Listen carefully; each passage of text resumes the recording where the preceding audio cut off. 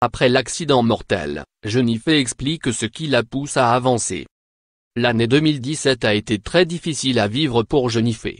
Deux événements dramatiques sont survenus, bouleversant douloureusement la chanteuse.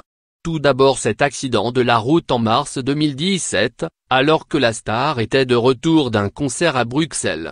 Une collision entre le minibus de l'artiste et une voiture à l'arrêt qui a fait deux morts. Profondément bouleversée par cet accident mortel, Jennifer avait interrompu sa tournée et pris quelques jours de repos. Autre drame vécu par la chanteuse peu de temps après le décès par balle de son oncle en décembre de la même année en Corse. Après de longs mois loin de la scène, Jennifer semble enfin sortir la tête de l'eau.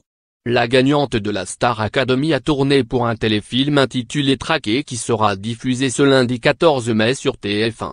Un tournage qui a fait beaucoup de bien à la Stark et qui l'a aidé à penser ses plaies. La chanteuse est également de retour en studio, et a enregistré déjà 118 morceaux comme elle le confie en rigolant à nos confrères du Parisien ce lundi. Je n'y fais pas ce beaucoup de temps sur ses chansons, mais ce qu'elle semble vouloir plus que tout, c'est retrouver ses nombreux fans.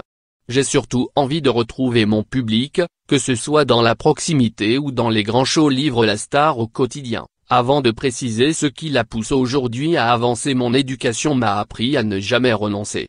Et je ne renoncerai pas à monter sur scène. Je ne pourrai pas abandonner mon public.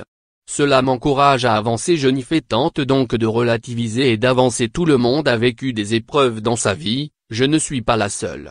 Mais je ne renonce pas déclare l'artiste pleine de courage.